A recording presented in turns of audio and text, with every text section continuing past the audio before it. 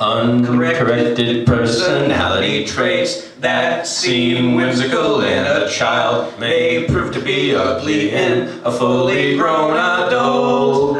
Lack of involvement with the father or over involvement with the mother may result in lack of ability to relate to sexual peers and in homosexual leanings, narcissism, transsexuality.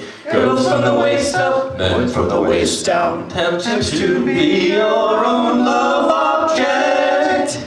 Reconcile your parents to you by becoming both at once. Even Marilyn Monroe was a man, but this tends to get overlooked by our mother fixated oh, overweight sexist media.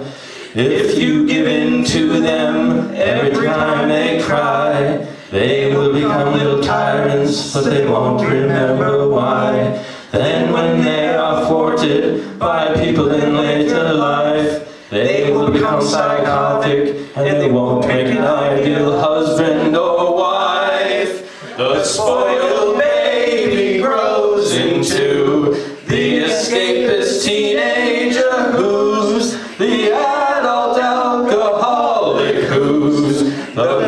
suicide. Oi! So, uncorrected personality traits that seem whimsical in a child may prove to be ugly in a fully grown adult.